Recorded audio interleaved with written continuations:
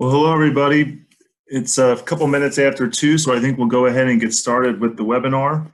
Um, the webinar today is Organic Disease Management in Cucurbit Crops. I'm Andrew Smith. I'm the Chief Scientist here at Rodale Institute. And this project uh, that we're working on was uh, in collaboration with my colleagues, Dr. Gladis Zinati and Rick Carr. Um, a little bit of background on myself. I've been working in vegetable production and uh, integrated pest management and vegetable production for a little bit over 20 years now. And I have a background in, in vegetable production, but really my, uh, my academic background is in entomology and insect pest management. Uh, Dr. Gladis Zinati has been working on horticultural uh, fertility as well as pest management systems for over 20 years now. And Rick Carr is our farm director, but he also has his master's in plant pathology. So we really want to also thank and acknowledge the Pennsylvania Department of Agriculture. Uh, this was a, a, project that was funded by a specialty crop block grant from the Pennsylvania Department of Agriculture. And they funded several projects over the last uh, several years uh, focused on disease or insect pest management in organic systems. So we're very thankful for their support. Before we get started, okay, there we go. My slide wasn't advancing. I want you to take a look at the bottom of your screens. If you scroll your cursor down, you should see this symbol that says Q&A. That's what we're going to use to answer questions. So that at the end, uh, I hope we have plenty of time to answer your questions. Uh, I want you, I'm just, I say that I want you to go there because I don't want you to go to the chat button um, which one I won't be going to look at afterwards, and we don't have it recorded. Uh, as a practice, but also to, for us to get a chance to know who we have out there, I'd like everyone who's on to, to go down and click on that Q&A. And if you wouldn't mind, tell us uh, what cucurbit crop. So, you know, I guess I should have started on what a cucurbit crop is. Um, I assume that if people were interested in this topic, they probably knew what cucurbit crops are, but uh, cucurbit crops are, are those are in the family of cucurbitaceae.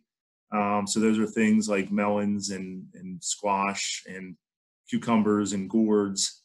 Um, anyway, if you could go to the Q&A and tell us what cucurbit crops you grow, uh, how many acres you grow of uh, cucurbit crops, and what is the number one disease you find uh, you have a difficult with. Um, so that'll give you some practice on using the Q&A, but it also give us some information about who, who we who are here and, and what we need to continue to work on in our research and education at Rodale Institute. So we've been doing several projects on squash production and squash disease and insect management, um, really because we know that it's a, it's a major crop that vegetable growers are producing. Um, it, it isn't in the top five of total acreage um, of vegetable crops because you have things like potatoes and snap beans and uh, lettuce and some and onions that tend to be grown on large acreage and harvested mechanically. Uh, but what we see here from this slide is that the majority of farmers that grow vegetables are also growing some sort of uh, cucurbit crop. So the number, this is from the U.S. Ag Census in 2017. Uh, farmers that grew squash, there was over 22,000 farmers that grew, grew squash. So those were winter squash and pumpkins. And there was over 18,000 farmers in the U.S. that grew summer squash. Um, so a lot of people are growing squash. There's a lot of interest in it. Um, we have a lot of work now looking at the nutritional qualities of, of fruits and vegetables. And so a lot of the squashes are highly nutritious. And um, so whenever I start talking about pest management, so we're talking about disease management in cucurbit crops, I really like to start with this integrated pest management triangle. And, and what this is really showing is, is that we should be putting a greater amount of our energy and our resources in the lower parts of the triangle. So prevention, uh, cultural practices, physical mechanical practices, which often sometimes are lumped into cultural practices, um, biological control strategies, and then, then chemical strategies are used as a last resort. Um, and and if, if, if not necessary, then we shouldn't even be using them. Um, if you go online and you look at a lot of different people describe what integrated pest management is, you know, I, I define it as uh, integrated methods and using multiple tactics to be able to control and manage pests. A lot of times you just see it as scouting to determine whether or not you should or should not spray. Well, really, that almost all falls really in the chemical approach. That's not really um, an integrated pest management approach. And I have on this slide, you know, that we, you know, there are times when we need to use chemicals, and there are chemicals available for organic production. Um, you know, organic production isn't completely chemical free. There are different chemicals. They're not usually restricted use chemicals. Um, we're going to talk about some chemicals that can be used. But I really want to make it very clear that obviously if you're if you're certified organic um, or you're you're following organic guidelines, you really want to look at OMRI or the Organic Material Review Institute uh, listing to make sure that the chemicals that you plan to use are listed and allowed in organic uh, production. And, and beyond just looking to see if it's on a list, you really ought to make sure that it is allowed for the crop that you that you plan to use and in the manner that you plan to use it because some some products are still restricted uh, even though they have an OMRI seal. So let's jump into it a little bit. Let's start with prevention and then get to the chemical approach. Um, you know, when I think of prevention, I think of anything that we can, you know, the word prevent, uh, the disease that might that we might have from getting into the field, onto the crop and infecting the crop and creating symptoms that are going to have some impact on on your bottom line. Uh, so to me, there's things like keeping your tools and surfaces and greenhouses clean, um, as well as tractors and implements that are going to go between fields. It's always a good idea to, uh, you know, spray down tractors, disinfect pruners, wipe down surfaces in greenhouses.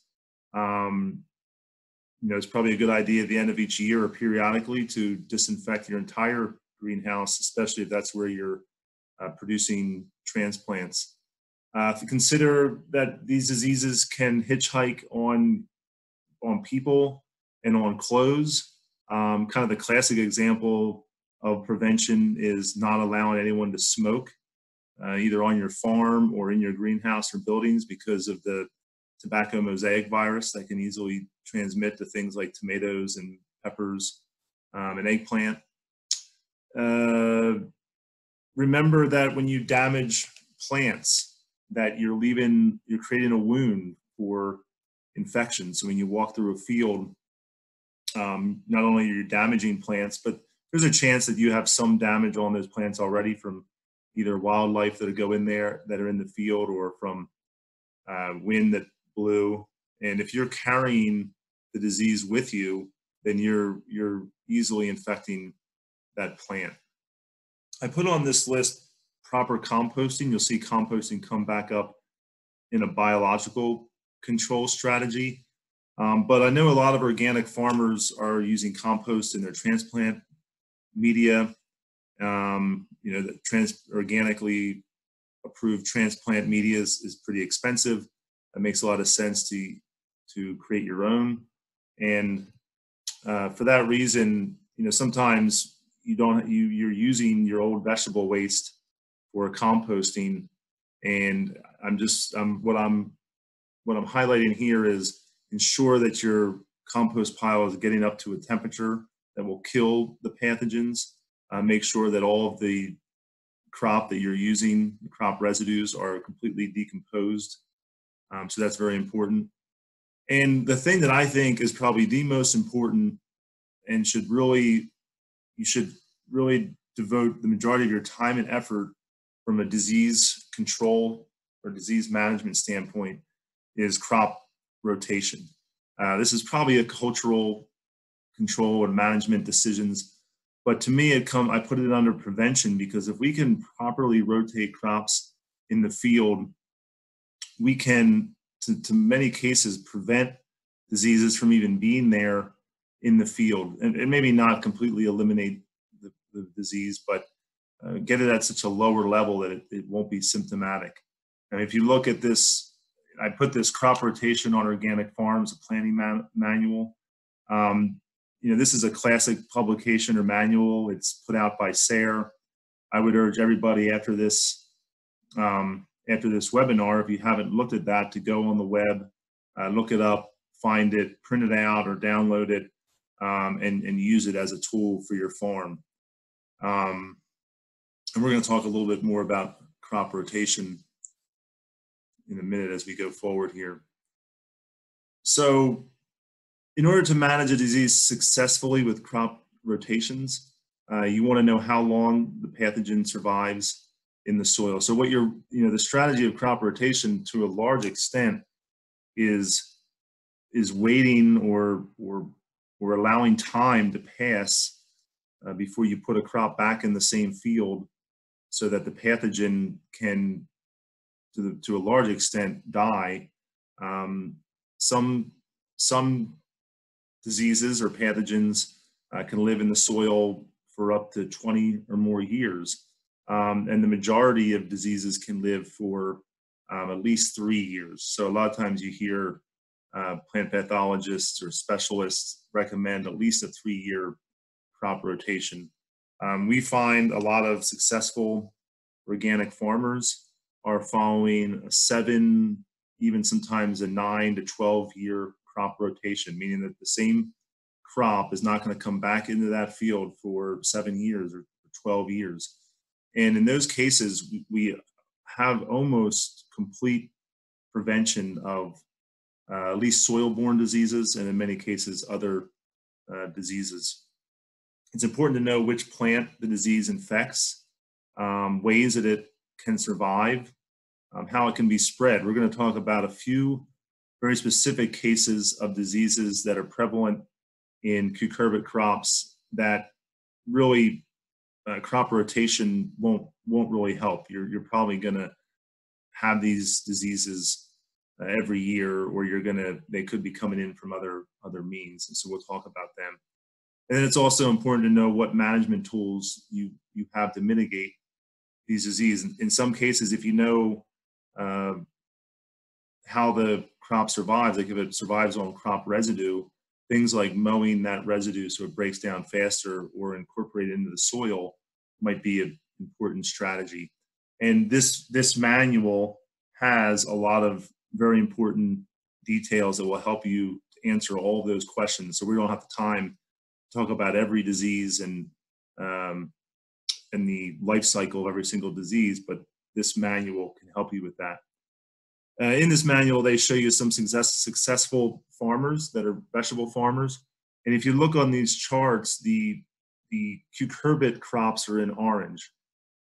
And you can see that they are following, in this case, a five-year crop rotation, where if you follow that rotation, the, the winter squash in the first column or the cucurbits in the second column uh, will never be back on that field for at least five years. Um, just a couple other strategies that I've seen is once you, let's say, work out a pretty good strategy where you feel comfortable and confident in your crop rotation, uh, maybe you have a three to five year crop rotation. Uh, what I've seen a lot of farms do is have two areas of their farm where they follow a crop rotation on one area for different crops they're growing, and then on the other area they have a separate crop rotation. And then maybe after four or five years, they completely flip flop those. Um, in that case, it could be 10 or more years before the same crop is ever back on the same field. Another recommendation, both for breaking up disease cycles, but also for building soil health, would be to have a portion of your farm that you rotate out of vegetable crops and maybe grow a hay crop or a field crop if you have that possibility. I know that's sometimes difficult because the equipment and that you need for field crop production or hay production, you, vegetable farmers don't have. Um, but if you're able to find a neighbor or somebody down the street that could uh, could do that for you, it might be a, a good strategy.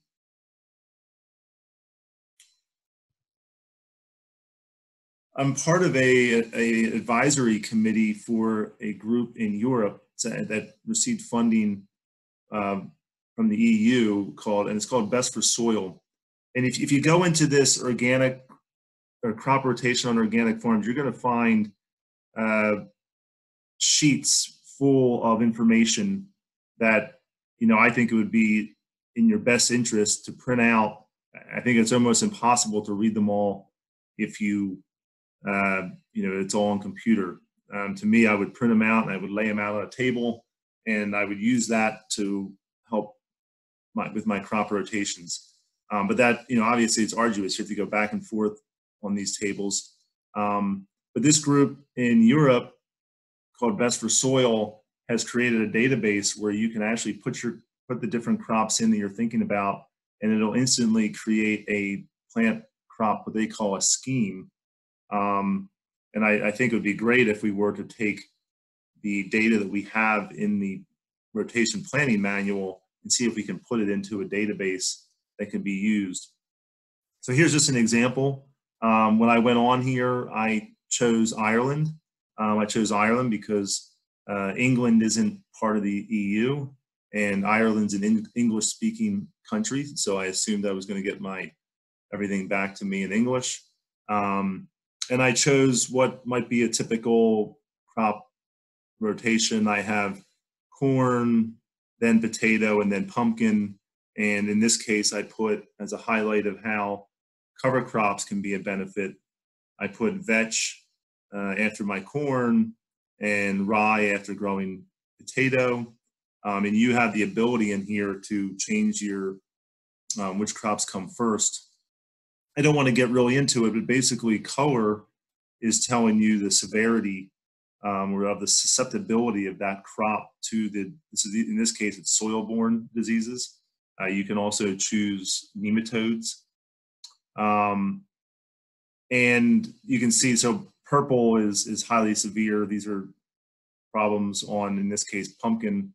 We see Pythium and verticillium could be a major um, major uh, disease in pumpkins, but it's not so much of a severe disease on the other crops. Um, some of the other, the, the letters A, B, and C are telling you what part of the plant uh, are infected, which goes into how, uh, how long they might persist in the soil and some management decisions. Uh, the, the square block is telling you that, that this crop's actually a host.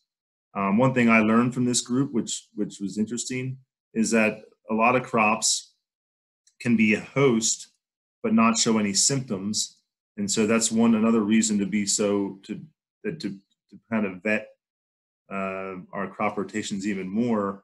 And and in some cases, in many cases, actually, the the low levels of disease uh, can actually be causing yield yield declines, um, even though you don't see major symptoms. And part of that can be because the disease has proliferated in the soil over time.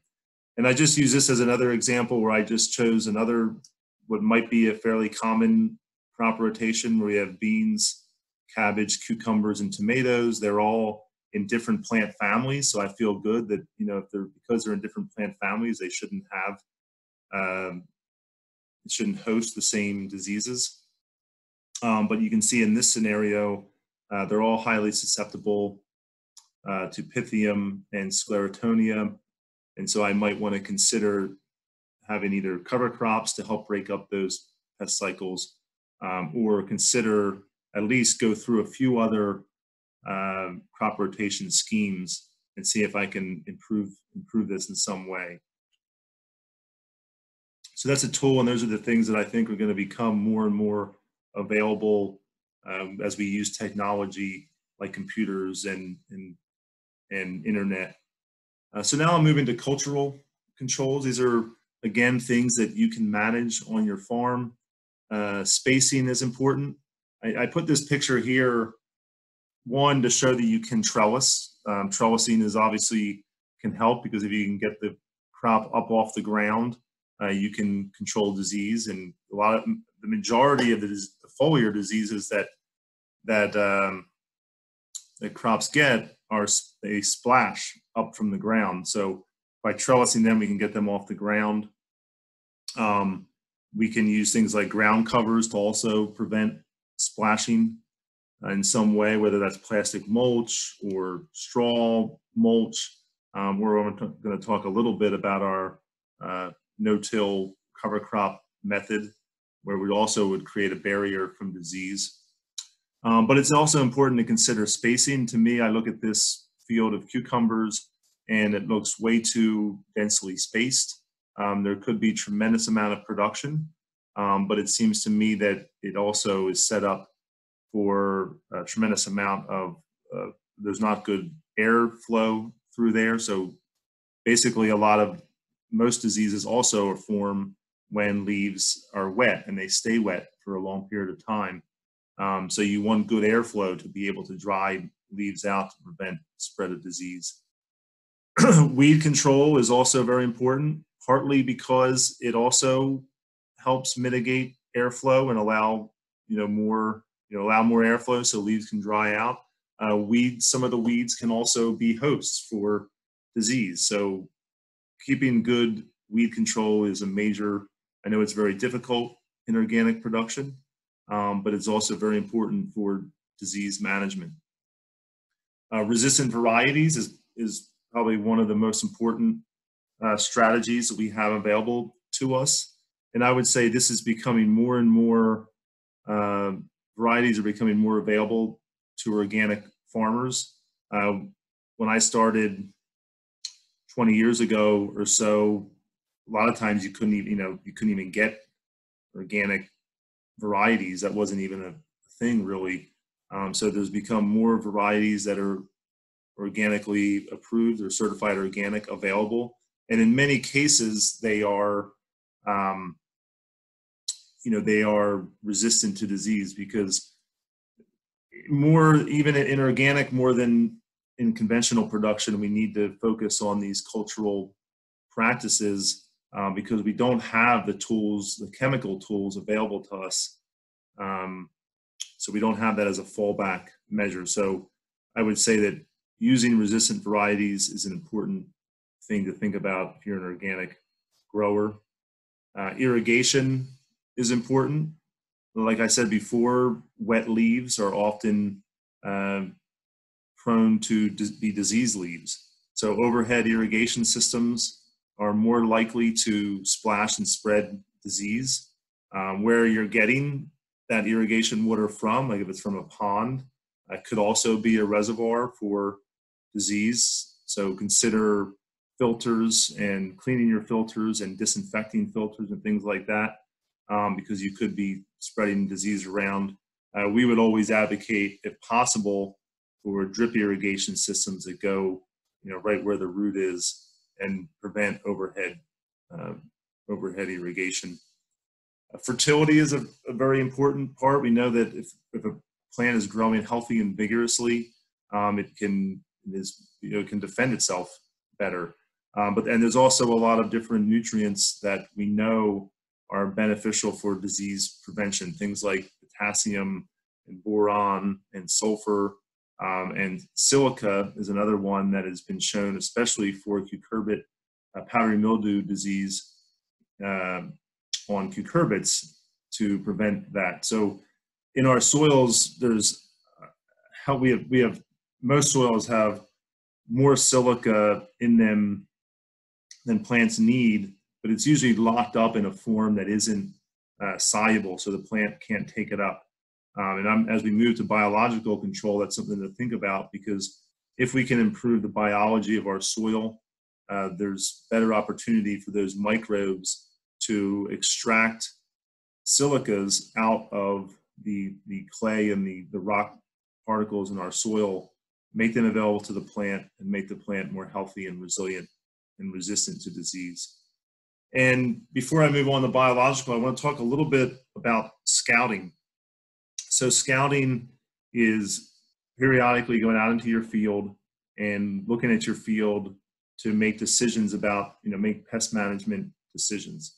And, you know, that's kind of a bridge to chemical control because we really shouldn't be making decisions about chemical controls or chemical management um, if we don't have good evidence that it's needed in the field. Um, one, you know, as I as I before I move, one cultural project that I don't have here that I just thought about is timing, and part of that gets into scouting because we, you know, you see here we're using black plastic. Black plastic gives us the advantage of getting crops in earlier, um, accelerating their growth, and a lot of times we can get a crop in the field and out of the field uh, before disease is even prevalent um, for that crop. So considering the timing uh, of your of your crop and when the disease is actually there in the field and, and looking at those manuals and other resources will help you know that and probably your own experience as well. But of course, a lot of vegetable growers are growing multiple successions. They uh, here we're growing squash, um, but you you know maybe they cucumbers. You want cucumbers uh, all year long, so you, you don't have the luxury of growing a crop and then getting it out before the disease starts. So you might have to make some chemical uh, chemical control decisions.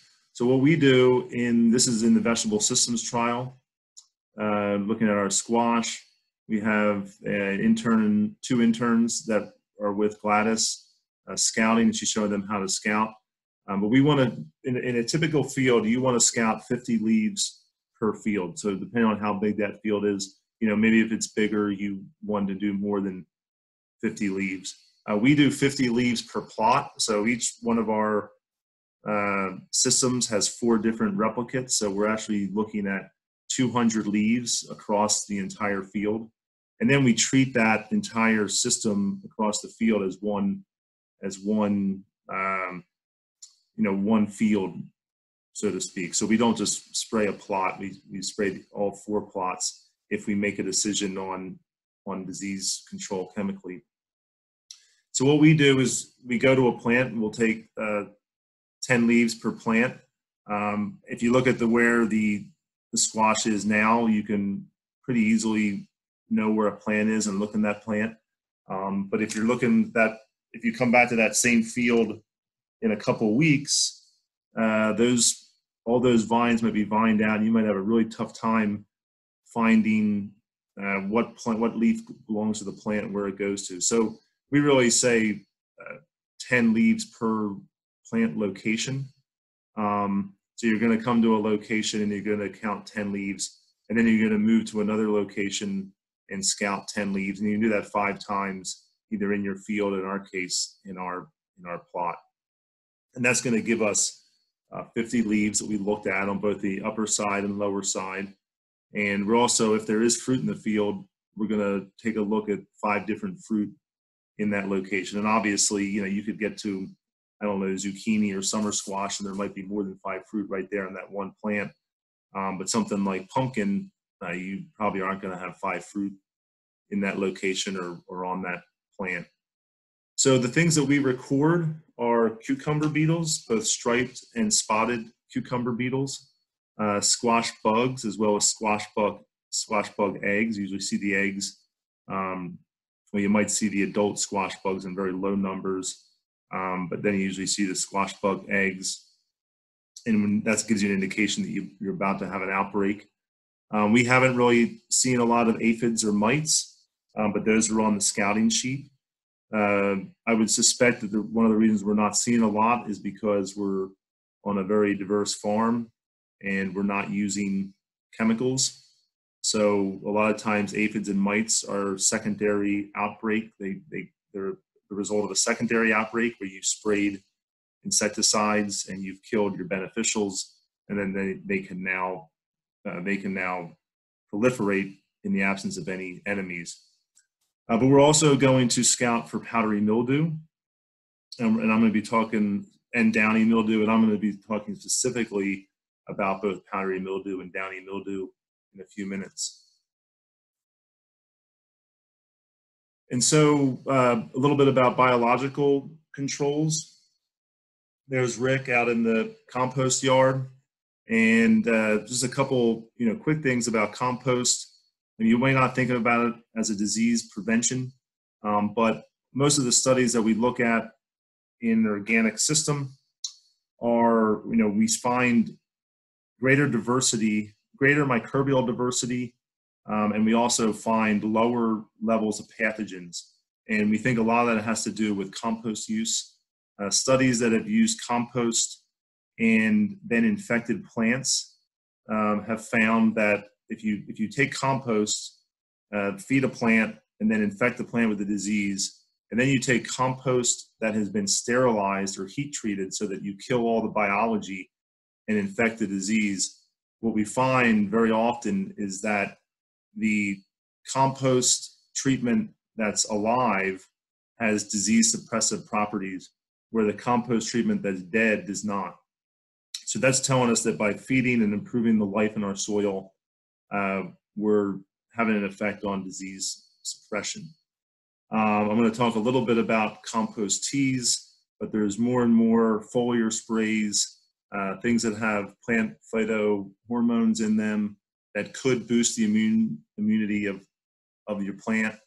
Um, cover crops are also a biological control because they a lot of them have uh, properties that are improving the soil. They might also be a chemical control because as they break down and release these chemicals, um, like the glucosinolates that are in brassicas that can kill some diseases as well as nematodes. Um, they're important. And there's biopesticides that are out there and available. Uh, let me briefly talk about compost teas. Um, you know, one thing that makes it difficult with compost teas and to recommend compost teas is that, you know, everybody makes them different, everybody makes them with different components. It's hard to say how effective uh, the compost tea I make is compared to the compost tea that, that you make is. Um, there's certainly, I, I, wanted to show this because there's evidence that compost tea does control diseases. Um, but it's hard for me sometimes or your extension scientist to make a recommendation on compost teas compared to a, a chemical, you know, come from the jug chemical that you can test and you know it's the same every single time.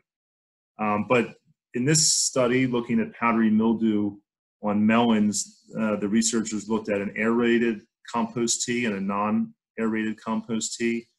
And they had different substrates that were used to make the, the compost.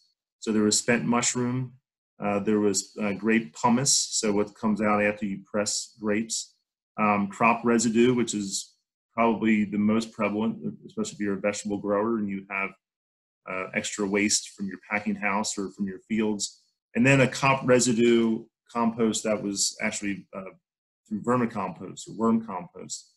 And what you can see compared to the control, which was just a, a, a water spray with no compost, uh, you see reduced disease or disease suppression. Um, the, the vermicompost, which in many cases uh, you see this uh, the vermicompost comes out better than all the other uh, compost teas. But what it looked like it is is that aerating the tea in this case uh, didn't really have much of a, a, benefit except for in the case of spent mushroom. Um, and all of the compost teas had a suppressive effect on powdery mildew.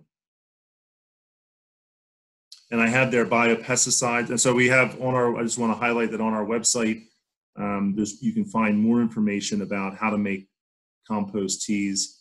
Um, you can see there at our website, if you search around a little bit and go to, go to the science tab, you'll find more articles um, and probably under the education tab as well.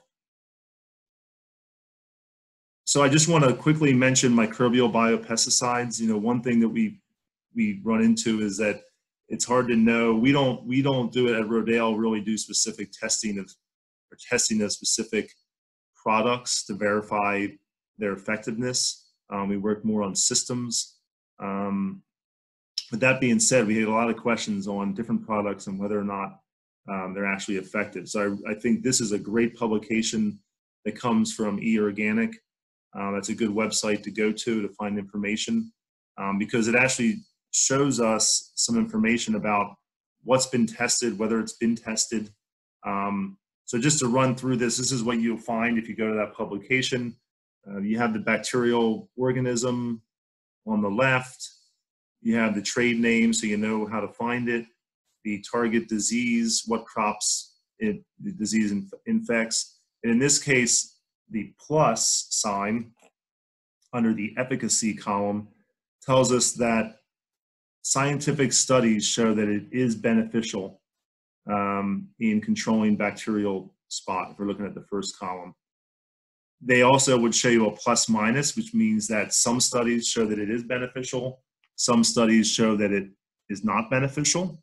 Uh, the other, it also indicate whether it has not been shown to be beneficial at all, or if there's no data to really support the support. Because I know a lot of you are probably just coming out of going to conferences and trade shows, and uh, everybody's going to tell you how effective their their product is.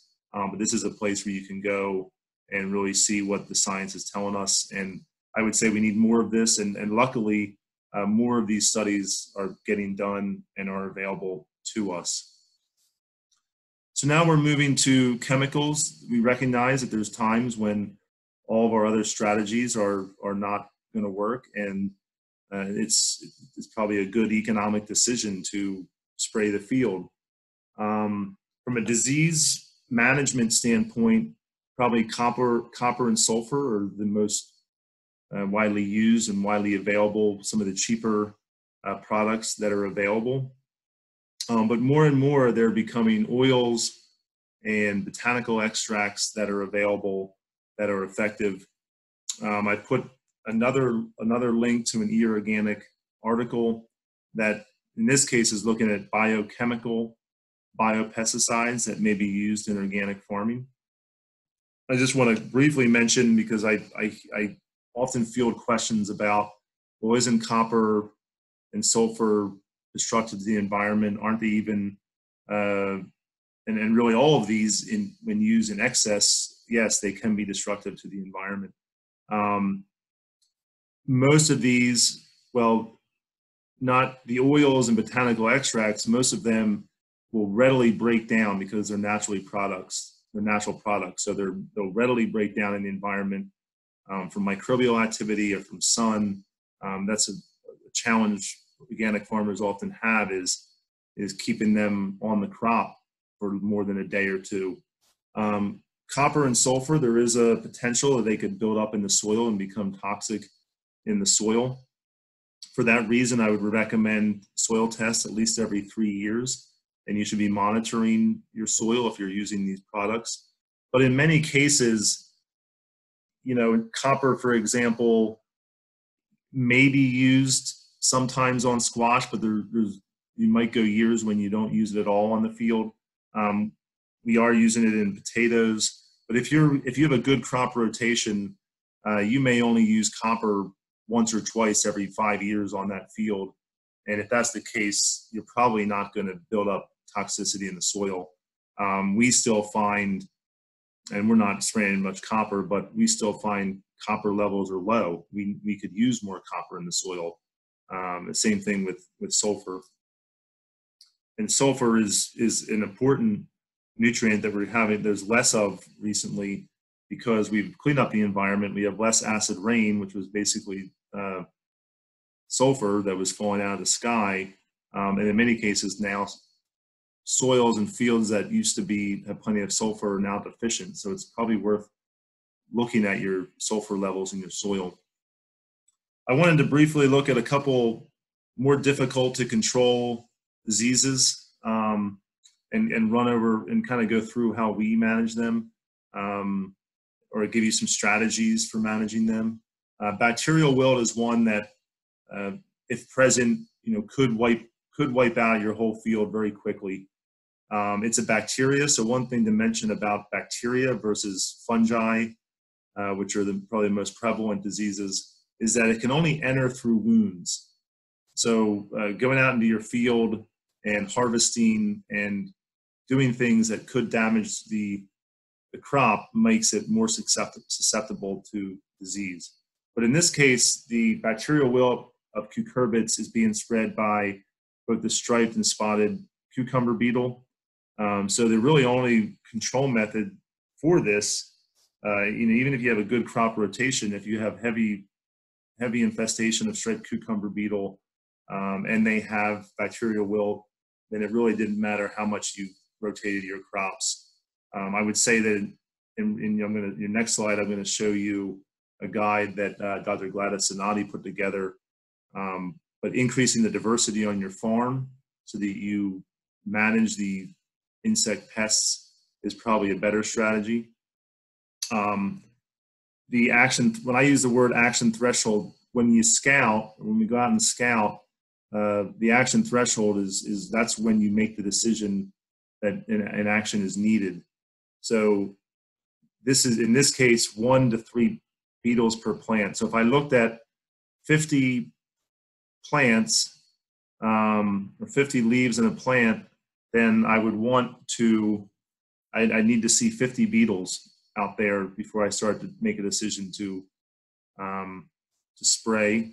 Um, but if you look at the science, in many cases, it took even more than one uh, beetle per plant to create infection. But there is what what happens is there is a kind of a congregation effect. Is what when you start to have more and more beetles, um, it weakens the plant, so they're more likely to be infected. Um, and if the beetles are infected with the disease, they send out a chemical cue to the other beetles to come feed, and you quickly get that increased congregation. So if you see a plant in a field that looks like this, the best thing to do, it's never going to produce a crop for you. The only thing that plant's going to do is infect the rest of your field. So pull that out right away and get it, destroy it, get it into your compost or burn it or, you know, get it away from your field so it isn't going to infect the rest of your field. Um, of course, remember, don't go into other uh, cucurbit fields after you've pulled it without, you know, making sure you're clothes didn't get infected or your hands are washed or you're wearing gloves. Um, a couple other strategies are to use row covers um, if you're planting at a time when cucumber beetles are out, uh, especially you're putting small plants out, uh, they can be covered. Uh, kaolin clay can also prevent the beetles from getting on the um, getting on the plants, and sometimes uh, you see farmers that they'll they'll actually dip uh, the clay they're, they're, they're transplanting clay before they put them out so they don't have to use uh, too much because the, the plants can be highly susceptible at a young age. And really the only other strategy is probably pyrethroid or pyrethrum insecticides. Um, most other insecticides don't seem to work really well. And again, if you uh, to find more information about controlling striped cucumber beetles, uh, you can go to our website and find out a little more information with the field guide that Gladis put together. Uh, downy mildew can be especially challenging. Um, there are some resistant varieties in cucumbers and muskmelons, but most other uh, cucurbit crops don't have resistant varieties available. And it's important to know that really, you know, once it's established in the plant, there's no fungicide is going to be effective. Even conventional fungicides really aren't going to be effective on this disease once it's in the plant. So everything is a preventative action. Um, and the, the best thing to do is to go to, if you see there, the CDM pipe, um, this cucurbit downy mildew, and I'm going to go to the, the next page in a second. Um, and then get a copper spray on right when you think there's a high chance of having infection in the field. Um, because what the coppers actually do is going to kill the pathogen as it lands on the plant and prevent it from actually getting into uh, the vascular parts of the plant. Because once, it, once it's in there, you can't control it. Um, so here's the web page for the cucurbit downy mildew IPM pipe forecasting. Um, so what I've done is I go, I've gone to the alerts. If you look at the top, you can see the alerts. Um, I now get a an alert on my phone anytime that downy mildew is detected within 200 miles of the Rodale Institute. Um, and that tells me I need to start paying attention. Probably go to this website and take a look and see where it is and what's the chance that it's going to be in our neck of the woods soon. Uh, pay attention to storms and see whether they're they could blow uh, downy mildew. Mostly, so downy mildew is moving from the south up. It can't overwinter in the north, but it can overwinter in the south. Um, so it's slowly moving up the coast throughout the year. Um, here's an example from the Penn State website where in August 1st, um, you know, and Rodale Institute is right below the A in Pennsylvania, at the end of the word Pennsylvania. And uh, you see on August 1st, I, I looked at it and I'd say, well, there's no risk. I don't, I don't think there's any reason to spray. And then the next day, probably because there was a storm and there was more infection detected in the region, suddenly we went to a moderate or even high risk. Um, in that case, we would want to get out with a copper spray to prevent uh, infection of downy mildew. And maybe a week later, it might go back down to low risk. So there, that's where there could, could be years where you, you have no reason to spray a copper for, for downy mildew. And then powdery mildew is probably the, what is the most common disease of cucurbit crops. Um, you're almost guaranteed that you're going to get it, uh, especially if you're growing a crop from the late summer into the fall. Um, sometimes you can escape it in early planted and fast growing crops like zucchini or cucumbers. Um, there are resistant varieties, so I'd recommend that when you're purchasing seed to look. A lot of times you see the PM uh, next to seed varieties.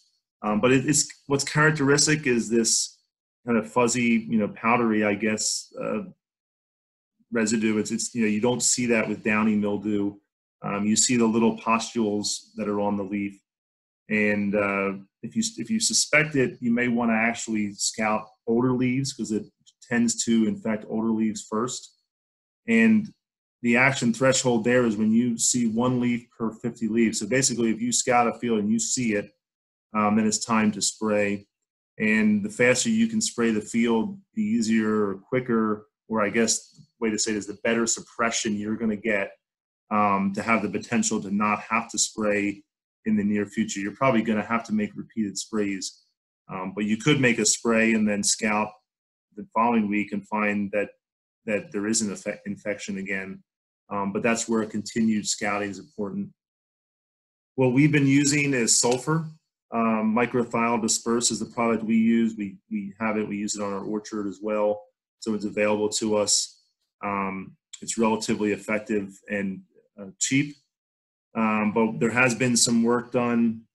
Uh, Beth Gugino is the Penn State uh, plant pathology uh, specialist, vegetable specialist, and, and she's done some trials and shown that neem oil as well as tea tree oil are effective on powdery mildew. So these are things you might want to try. We have scientific evidence that they are effective. Um, so moving on, and we're almost we're nearing the end. I want to quickly manage manage the, or mention the benefit of of cover crops. Um, the Rodale Institute, as well as some other innovative farmers in Pennsylvania and some other parts of the country, really started this uh, kind of cover crate cover crop based no-till system. Um, a lot of the first people to do it weren't necessarily organic, and so Rodale started to develop a system. In this case, we have our roller crimper um, in a way to effectively kill a cover crop. So here you see on the left the roller crimper in the front of the tractor. Uh, John Good, who's a farmer nearby us, used to actually uh, farm the uh, the Rodale property, is rolling down a hairy vetch cover crop, and you can see what it looks like over on the right. And now it's in a in, we have a heavy, dense cover crop that not only is preventing disease um, it could be providing fertility, and it's of, of course it's uh, controlling erosion, and we could plant right into that. Um, some of the difficulties we find is finding planters that can effectively, or, or transplanters especially, that can effectively plant into that. But if you do a good job and it all works, then the six weeks after planting picture, you see that's the way we hope that it, that things will look, um, and you'll have good weed control. Um, farmers have been doing this around the country, so it's not just at Rodale Institute. Here's a farm in Italy, and they have they have coulters, and um, those are deep subsoilers that can actually mark their rows so they can come back in and transplant. Um, here's a farm in California where the standard practice is mostly black plastic, and they're actually using it to roll down and plant eggplant. Um, so it's a, it can be a good strategy for succession planting. Uh, it's scale neutral.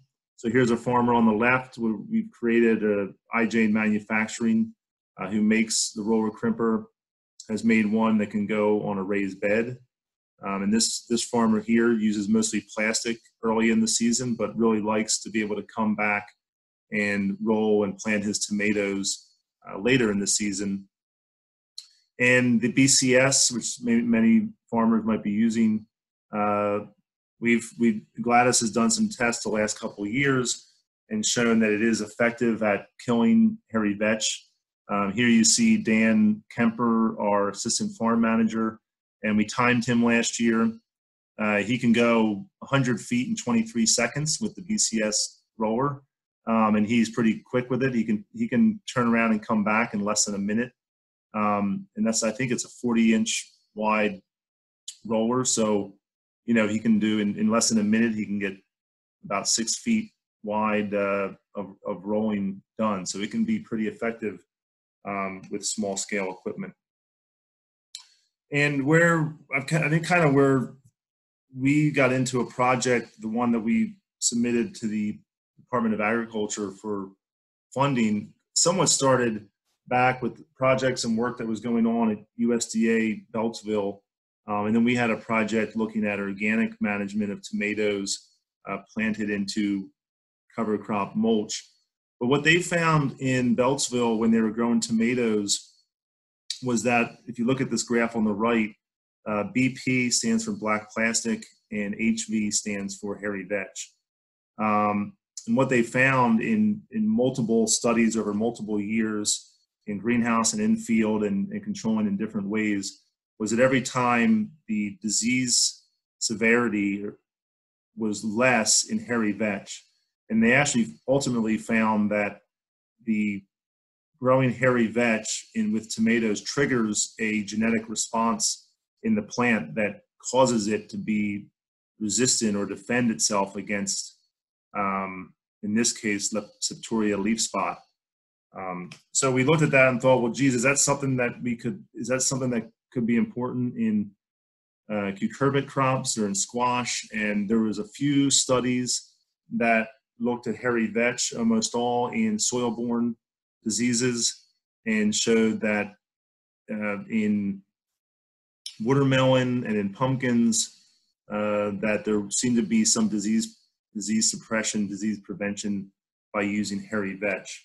And one thing that we noticed in the vegetable systems trial, this is the first year of the vegetable systems trial, was this is just an observation.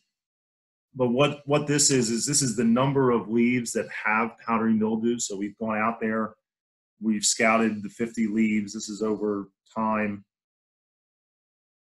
And we see that generally the conventional plants have more uh, have more uh, number of leaves with powdery mildew. So the, the top two are both our plastic mulch treatments, the blue and the orange, but the conventional has more and then the next two is our uh, reduced till system where we're rolling down our cover crop.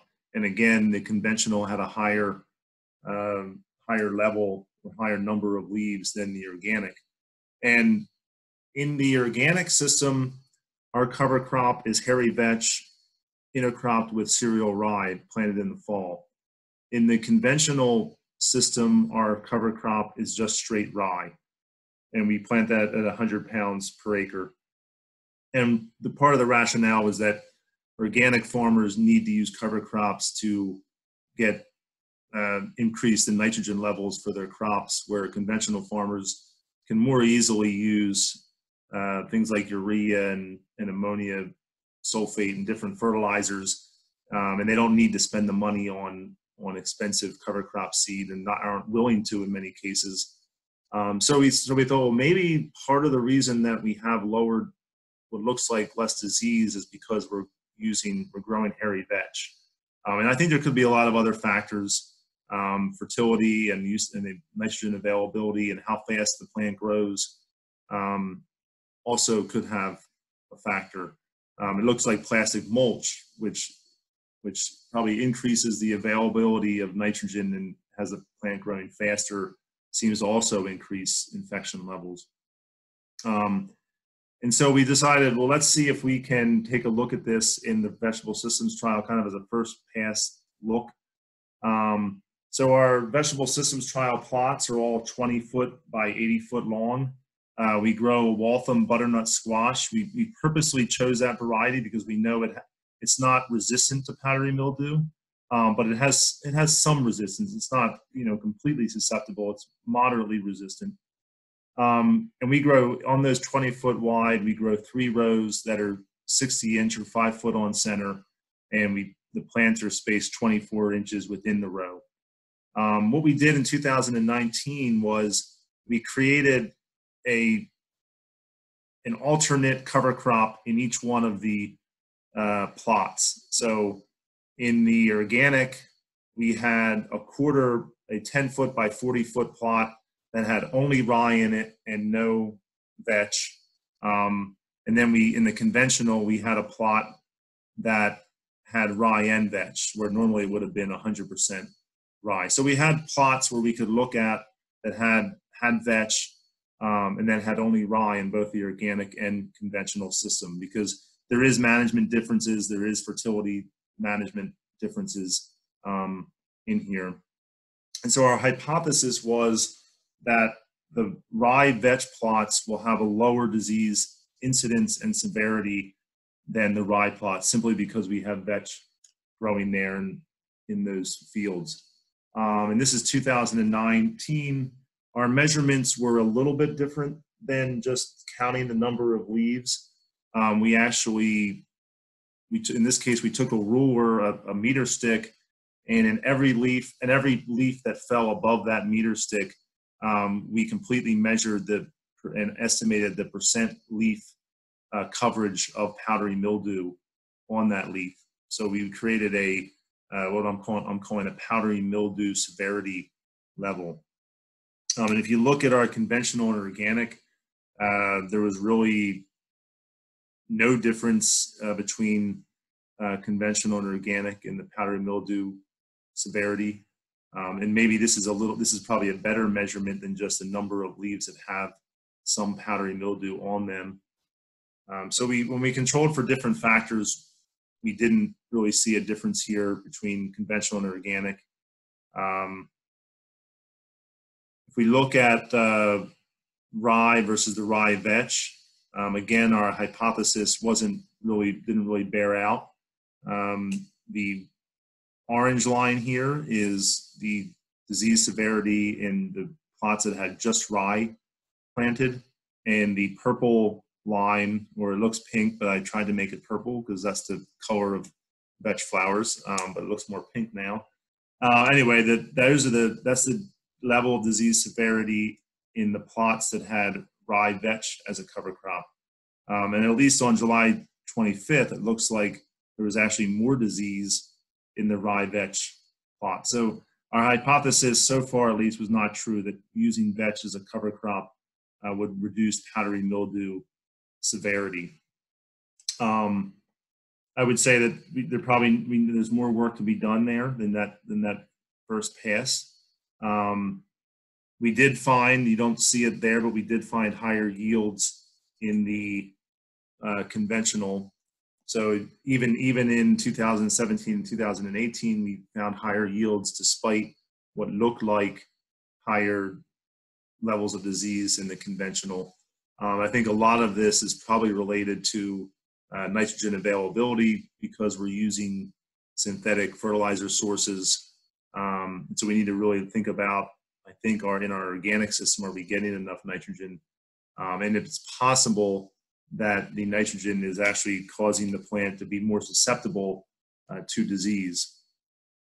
Um, like I said earlier, the vetch as a cover crop did not reduce powdery mildew um, when grown in rye, but I say further testing is needed because we, we really maybe rye confounded things. Maybe if it was vetch by itself, um, could have had a greater impact. And we've been thinking about uh, are we using the right mixture or the right uh, seed? You know, are we do we have basically do we have do we have too much rye in our mixture, um, which might be tying up nitrogen uh, to the to the squash? Uh, we probably need to do some testing over multiple seasons. Uh, we really need to look at it in our no-till system, and we need to do better control for crop fertility, considering that the organic and conventional are, are managed differently. Um, but either, either way, this is just one subset. I just want to make it clear that cover crops are still a very important part of organic disease management, especially to break disease cycles, um, to give fertility to the plant, as well as to feed the microbiology in the soil. A few takeaways from today's webinar is that there really you really need to have a focus on IPM prevention and cultural management, especially in an organic farming system, because we really can't fall back on one we, we can't and we really shouldn't be relying on a chemical control strategy. Um, crop rotation is probably the greatest tool that we have.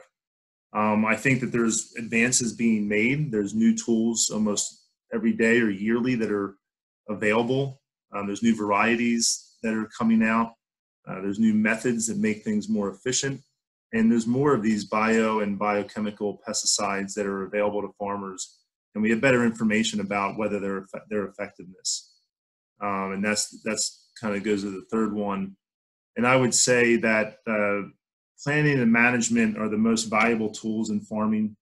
Um, if you want to be an organic farmer, um, if the only thing you can think about is what to spray and when to spray it, then you're going to really be, you know, you're up against the wall. Um, what separates really good farmers and in many cases organic farmers from other farmers is their ability to manage and plan and think ahead. And that's really what's needed um, for disease management in organic vegetable production. So I think that's the end. And um, I will take a look at the Q&A. I know I've gone probably longer than I expected. Hopefully some people are still hanging with us. Um, I'll take a look at the questions. I put myself on the fruit, not Gladis there. Uh, I thank people for telling me about their production and what they're doing. Um, let me take a look to see if we have any questions and I and we I put my information here because I know that some of you probably have to leave. It's three o'clock, um, but I want you to be able to get your questions answered. Um, okay, so one question is how can you practice crop rotation in a small home garden? So I still think it's possible. Uh, you know, if you have beds, if you can move them around uh, year to year. Uh, again, cover crop is cover crops are critically important um, because they can break those disease cycles. Um, compost is again important in reducing the levels, um, but I do think it can be can be a challenge in small small gardens. Um, someone here says they have issue with mites. Um, yeah, the, the with mites, I would say that things like um, ladybug beetles are can can wipe out a mite population. So if there's a way to encourage uh, predators and ladybugs in the in the garden or in the fields, um, read that guide that Gladis has on creating insectary strips. Um, have, in, encouraging diversity can often control mites. Um, a lot of times mites live under the leaf and coming with a some sort of spray which might kill them often doesn't even touch them. Um, so you're doing more harm than good. Um, any hand roller crimpers for the small garden? Um, so we have it we have a picture i didn't show it here. Somebody took a two by four uh, screwed a, a angle iron that you could probably get at most hardware stores already made up and ready to put on to make a hard edge they took uh, some rope to put down and tie it between each side of the board so that they can lift it up and down and use their and then push with their foot on the edge of that angle iron. And you could pretty much you know move move inch by inch along uh, to kill. I would say that if you're in a really small home garden though what we've struggled with is if we use a sickle bar mower and undercut the mulch then getting in there with equipment like transplanters uh, can sometimes grab that mulch and bind it up but if you're going to plant by hand simply undercutting with a machete or something like that is another another tool um, that can be effective. Um, how much space do you need between plots when planning crop rotation? Um, I would urge you to take a look at those manuals that I talked about because some of it has to do with the disease and how it spreads. So if it can easily spread by wind um, or you know move even small distances like 10, 15, 20 feet, um, then you may want to consider what is growing next to, you know, what crops are growing right next to each other. Um, in some cases, it might not matter at all. In some cases, it might be critically uh, important. So I think there, it's hard to answer that without knowing what disease uh, exactly you're you're trying to control. Um, so, what is the best time to begin looking for pests, uh, beetles, mites? Uh, I think it's one has to be know your know your crop and when they start to come in. Um, we start to do it really, I think June 1st, absolutely, we start to do it. That's when most things are planted. Um, of course, this is that's in the Northeast. I'm not sure exactly where where you are, but um, probably by that time, you know, you can escape a lot of pests early on. So um, sometimes it's not as critical early on. So I, I, think it really depends on on the on the crop and when the crop was planted. Um, and I think that's all the questions. So I thank everybody for uh, for being here today. I'm going to uh, end the, the, webinar, but you have our emails there. We have your questions. Um, and I, and someone did say here, is it possible to get these slides? I, it's my understanding that this webinar will be online at the Rodale Institute website and be available to freely get to look at. So you won't necessarily have the slide deck, but anytime you could you could come back and take a look at the, the presentation. Um, so hopefully that helps with being able to find some of these resources. Um, so thank you everybody, and I'm going to uh, end the webinar.